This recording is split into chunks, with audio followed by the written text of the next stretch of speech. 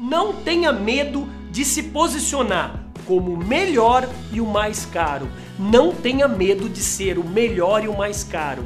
André, o que, que você está querendo dizer? Tá vendo essas marcas aqui, ó? Ferrari, Montblanc, Armani, aí também a Prada, todas empresas que se posicionaram como premium, como melhor. Bate madeira agora o que eu vou te falar.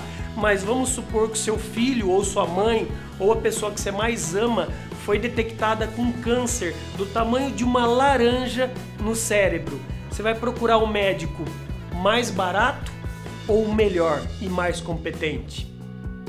Com certeza você me respondeu o melhor e mais competente. E esse cara não é o mais barato. Captou? Então, não tenha medo de se posicionar como melhor e mais caro. Ao longo dessa jornada, você vai perder muito clientes, mas os poucos que você vai ganhar, esses poucos vão te indicar para você sempre ser visto no mercado como melhor. Captou, né? Isso é posicionamento novamente.